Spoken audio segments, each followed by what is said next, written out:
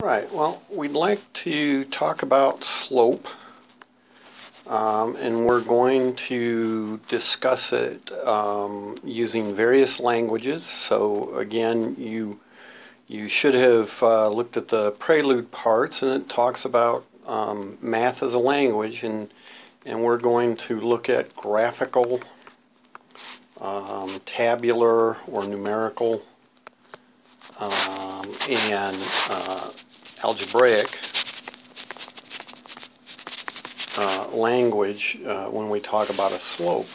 And so we're going to start with graphical. Um, so if you if you have a Cartesian coordinate system and we think of some line going like this, then the rate of change of that line um, is the slope. And if I want to compare two lines, so I have that line and I have another line that's maybe doing that, those are supposed to be straight, then what I can see visually or graphically, so I'm, I'm looking at this graphically, I can see that, whoops, I don't know what I just did. Oh, I went to page two. We'll get it back. Okay.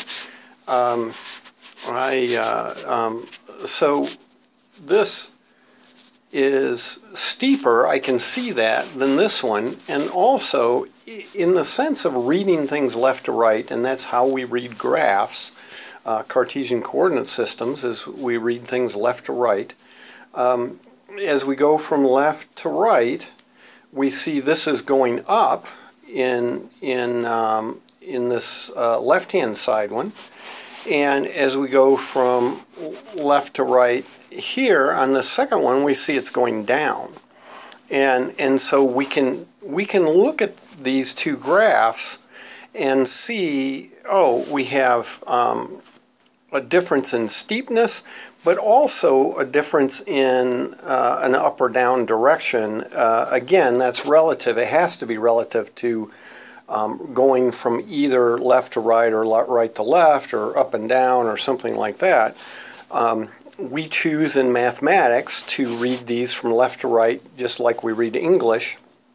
And, and so we see the left one here going up and we see the right one going down. And those rates of change, in other words, the steepness, um, which is uh, another way of thinking about rate of change. Uh, oops, I forgot my y there. Um, the rate of change of the y value within the um, Cartesian coordinate system, uh, the rate of change of the y value with respect to the x value is the steepness. So when we talk about that rate of change of y with respect to x, we are simply asking for, say, a one unit, if that is one unit, uh, one unit move uh, left to right from one point uh, here, how much, so x moved 1, the question is how much did the y move, sorry about that, I added another page, um, fat hand I guess. Uh, so um, we have, uh, you know, that one unit to the right how much did the y go up or down? And whatever that is, uh, typically um, we give that value uh, the letter m, and, and that is our slope. Okay, so m is, is our slope. And, um, and so the way we would tend to um, see this graphically uh, let's see, kind of come down here. I didn't mean to make that line there, but um, so the way we would tend to see this graphically is um, suppose I have a, a nice grid here. So I'll make a grid and there I have a point. Now graphically, really, if, if I have a good grid, I don't really need to know the actual coordinates. I just need to know their relative spots. And, and so here's another point along a line or a line segment, so I'll attach them with a line. And the question is, well, what's the slope of that line? And um, the way I can get it, now the easiest way graphically is um, to just count how far I went over in x and, and how much I went up in y or down in y. Um, now, you know, we mentioned that slope is really just the one unit change. So if each of these uh, grid pieces was one unit, um, well, I guess for one unit over this way I went up that much, but I'm not sure how much that is. You know, so it's kind of hard to uh, to get at. But what I can do is um, uh, look here, and I could count and and do a division uh, to normalize it, as we would say. So notice that, uh, and I can I can either go all the way over to here because I have those two points. So that, assuming that these grid uh, pieces are the same size in both directions, well, there's four grid pieces that way, and going this way is two grid pieces. So I went up two for four to the right. And, um, and so, uh, what is that if I only went one unit to the right? Well, that's just the division of the up 2 over the 4. That normalizes it or, or gets me uh, a per unit um, uh, number. Another way you could think of this is what I'm going to do is, well, I went up, I went over 4. Uh, I should have only gone over 1, so let's divide both of these numbers by 4. Okay, so I, I'll divide 2 by 4 and well that's what you see there. And I'll divide 4 by 4 but when I divide 4 by 4 I get 1 and and that's what I need to do. You know I need to have is, is 1 unit in x. And so my slope is 2 over 4 now I can reduce that. Uh, actually in, in, a lot of the stuff in this class we won't have to reduce it. Um, but there's 1 half.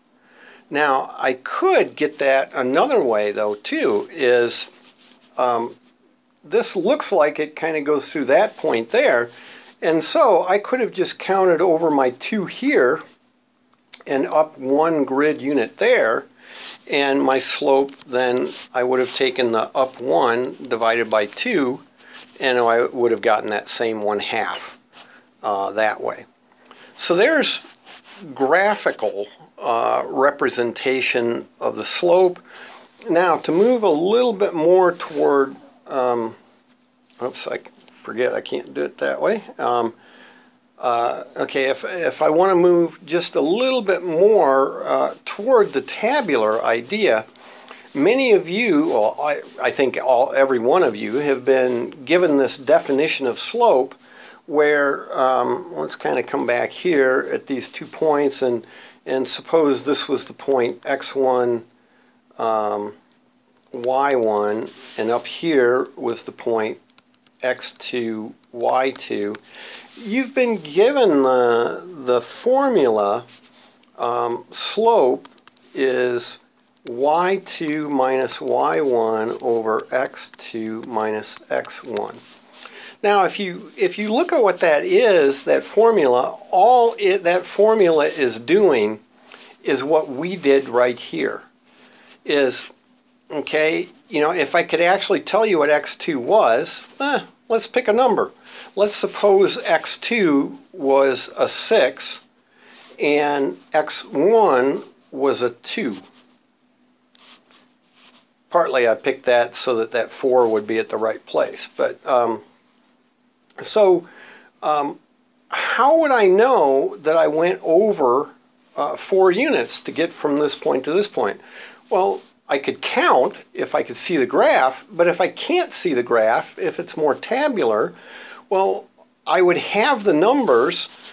You know, I'd have a point that was called the point um, 2, and we'll have to get back to the y value, and another point called 6, and we'll have to get back to the y value, but how would I find how far it is from 2 to 6? Oh, I just take 6 minus 2, And that's what that says.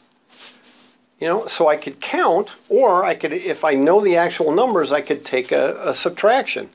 Well, if I'm truly doing it visually and I can see the the units and the cross hatches and and all that within the the uh, Cartesian coordinate system, I really don't need to know specifically what those numbers are. I truly can just count. But if I have a table of values, a table of points or something like that, well, then I can't see that. I can't count. And therefore, um, I really do need to use subtraction to, to find that distance. And another reason I might want to use subtraction is, well, suppose um, these points are really, really far apart you know, like 10 million units apart. Well, I don't want to count to 10 million. I can, but I don't want to. And, and so that's all that formula down there is doing. Because if we take 6 minus 2, we get 4. Well, that's what I divided by right there. I divided by 4. Why? Well, because 6 minus 2 is 4. But I didn't do it as a subtraction. I just counted.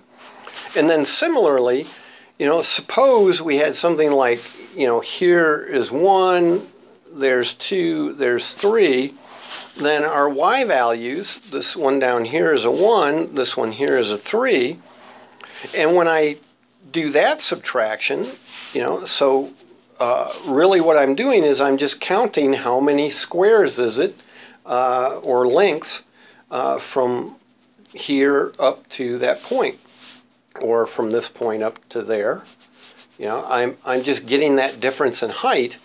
And oh, difference in height. Mm, language is amazing that way. So you see, I'm just taking the 3 minus 1, and that's where I got the 2. So I have 3 minus 1 is 2, right there. And then um, 6 minus 2 is 4. That's where I did the 6 minus, uh, 2 and got 4, and that's right there.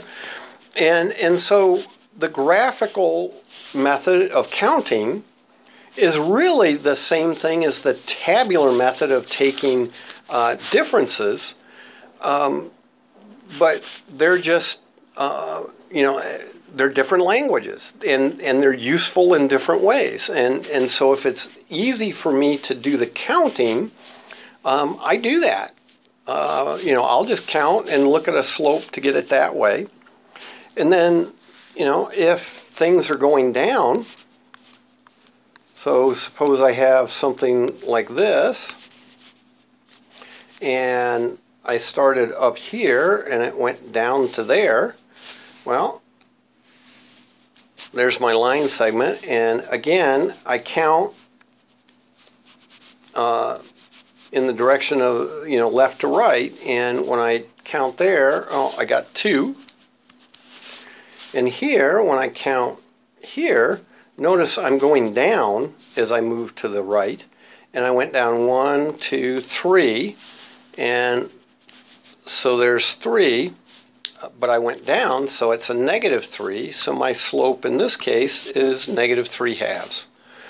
And, and so there is my graphical uh, method, and um, you you can use the y2 minus y1 over x2 minus x1. Uh, we'll get to that again in a minute, uh, but that is uh, probably enough for this video, and so we'll we'll call that good. Uh, I got to figure out how to stop the video here. Let's see. There we go. Stop.